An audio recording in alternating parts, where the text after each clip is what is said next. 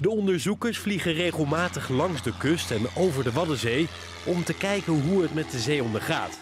Om ze te tellen en om te zien welke soorten er leven.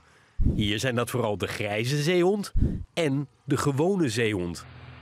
De onderzoekers fotograferen de dieren vaak vanuit het vliegtuig en ontdekten toen iets opvallends. En aan de hand van die foto's konden we gaan bestuderen hoe ver die zeehonden uit elkaar lagen. En toen hebben we gevonden dat de gewone zeehond, die kleinere soort, eh, meer afstand houdt van zijn buurman dan de grijze zeehond dat doet. De onderzoekers denken nu dat dit komt omdat gewone zeehonden sneller ziek worden. Dat is in het verleden vaak gebeurd. Deze beelden komen uit het jeugdjournaal van 20 jaar geleden. Deskundigen waren al bang dat dit zou gebeuren. Want in andere landen langs de Waddenzee zijn de afgelopen tijd al honderden zeehonden aan de besmettelijke ziekte gestorven. Enorme aantallen zeehonden werden ziek en ongeveer de helft van alle gewone zeehonden in Nederland ging dood aan de besmettelijke ziekte.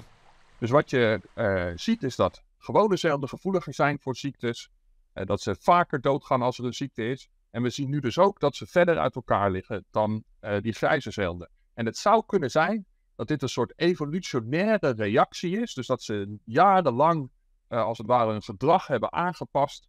eh, en daarom nu wat verder uit elkaar zijn gaan liggen in die kolonies. En zo dus minder makkelijk ziektes overdragen of zelf ziek worden.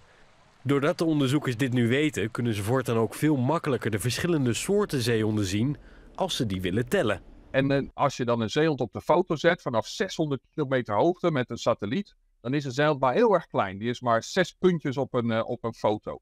En dan kan je eigenlijk niet goed het verschil zien tussen een gewone zeehond en een grijze zeehond.